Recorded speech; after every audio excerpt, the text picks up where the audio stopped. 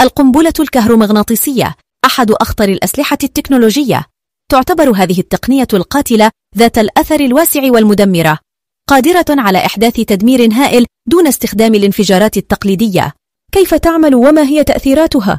وهل تشبه القنبلة النووية في حجم الدمار؟ هذا ما سوف نتعرف عليه اليوم تعتبر القنبلة الكهرومغناطيسية واحدة من أخطر الأسلحة في عصرنا الحالي فهي تمثل آخر جيل من الأسلحة النووية بقدرتها على إلحاق الدمار بحجم هائل دون الحاجة للانفجارات التقليدية. تكمن خطورتها الفتاكة في قدرتها على إعادة البشرية إلى الوراء إلى عصر ما قبل التكنولوجيا حيث تبطل كل الإنجازات التكنولوجية والحضارية التي تم بناؤها على مر العصور. الأمر الذي يجعلها أكثر خطورة هو عدم قدرة الجهات المعنية على تحديد مكان الهجمات بسبب عدم إطلاق الانفجارات التقليدية مما يزيد من صعوبة الدفاع ضدها ويجعلها تهديدا لا يمكن التنبؤ به.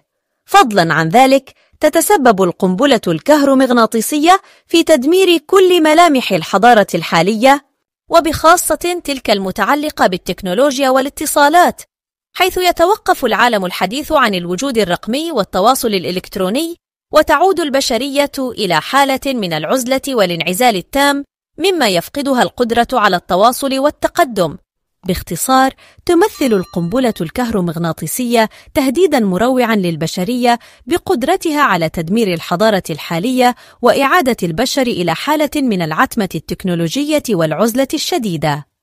القنبلة الكهرومغناطيسية أو القنبلة الإلكترونية المعروفة باسم EMB تعد نوعا من الانفجارات الكهرومغناطيسية الإشعاعية التي تنشأ نتيجة انفجار قد يحدث بسبب الغالبية سلاح نووي.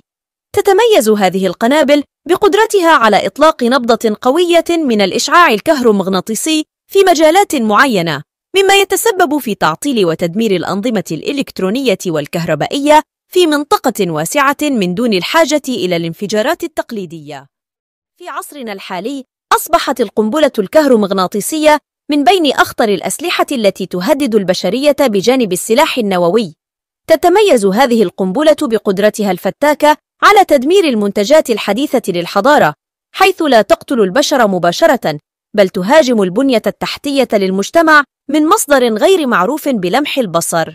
يمكن لهذا السلاح تحويل كل وسائل النقل والتكنولوجيا والاتصالات إلى قطع غير قابلة للاستخدام. ومع عدم قدرة الجهات المعنية على كشف مصدر الهجوم الكهرومغناطيسي.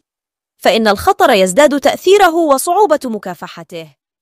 القنبلة الكهرومغناطيسية تختلف عن الأسلحة التقليدية حيث تعتمد على طاقة كهرومغناطيسية تعمل بالموجات الدقيقة ذات الطاقة العالية. تهدد هذه القنبلة بتدمير البنية التحتية لمراكز التشغيل وإدارة المعلومات. مثل الرادارات وأجهزة الاتصالات الفضائية العسكرية وجهاز الإرسال والاستقبال التلفزيوني بالإضافة إلى أجهزة الاتصالات اللاسلكية. على الرغم من أن تكنولوجيا القنبلة متاحة لأي دولة أو جماعة تمتلك القدرة على تصنيعها، إلا أنه يتوجب على أجهزة محددة امتلاكها. ومن الغريب أنه لا توجد دولة عربية تمتلك هذه التكنولوجيا، ولكن مصر من بين الدول القليلة التي اتخذت إجراءات لحماية نفسها منها من هذا الخطر المجهول.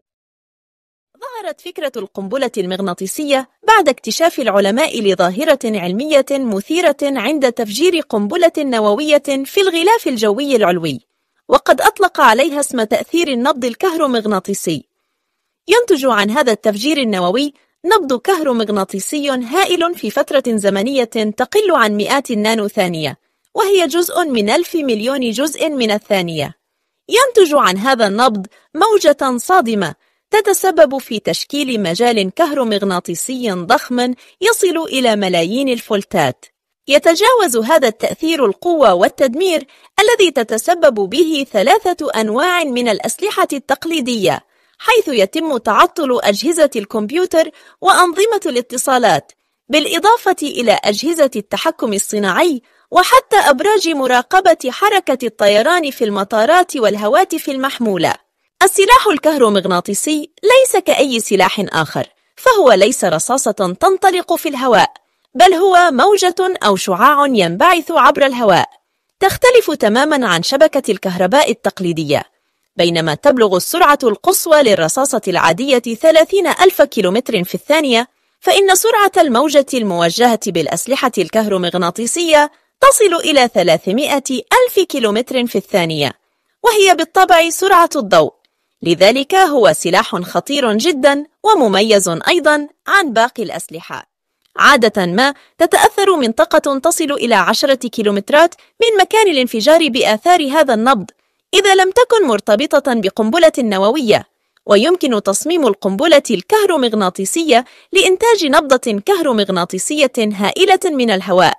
كما يحدث في انفجار الأسلحة النووية الإلكترونية الصغيرة على ارتفاعات عالية حيث يكفي لتعطيل أو تدمير الأجهزة الإلكترونية على بعد أميال عديدة من مكان الانفجار.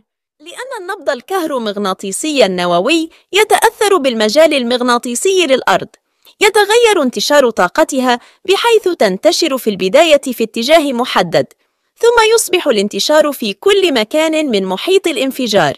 يمكن إسقاط القنبلة الكهرومغناطيسية من الصواريخ أو الطائرات مثل القنابل التقليدية. كانت الولايات المتحدة أول من استخدم القنبلة الكهرومغناطيسية كسلاح عندما استخدمت القوات الأمريكية القنابل الإلكترونية التجريبية خلال حرب الخليج في عام 1991 كما استخدمتها أمريكا لتدمير البنية التحتية لمراكز التشغيل وإدارة المعلومات في العراق كما تمتلك روسيا والصين وبريطانيا وفرنسا قنابل كهرومغناطيسية متطورة مرتبطة بنظام الدفع والتفجير النووي. لكن لم تستخدم أي دولة منهم هذه القنابل. وفي عام 2017 أجرت كوريا الشمالية انفجارا كبيرا تحت الأرض للقنبلة الكهرومغناطيسية. وبعد ساعات أعلنت نجاح عملية تفجير القنبلة الهيدروجينية. وعندما أعلنت كوريا إن القنبلة الهيدروجينية يمكن تفجيرها على ارتفاعات عالية. هنا أصبح من الواضح امتلاك كوريا لهذا السلاح الخطير. لكن كيف نحمي أنفسنا من مخاطر القنبلة الكهرومغناطيسية في منع تدمير الأجهزة الإلكترونية؟ يجب أن تكون جميع الأجهزة مغلفة بقفص معدني مصنوع من الألمنيوم لكن تأثير القفص سيكون عديم الفائدة إذا مرت التوصيلات خارجة مما يعني لا يسمح بأشارة الدخول ويجب أن تكون كابلات الخروج مصنوعة من ألياف ضوئية لا تتأثر بالمجالات الكهرومغناطيسية كما يجب حماية المباني الحساسة وحماية أبوابها. كما يجب توفير الطاقة الكهربائية عن طريق مدها إلى أعماق الأرض. لا تترددوا في مشاركة آرائكم والاشتراك في القناة للحصول على المزيد من المحتوى المثير. شكرا لكم على المشاهدة ونلتقي في الفيديوهات القادمة.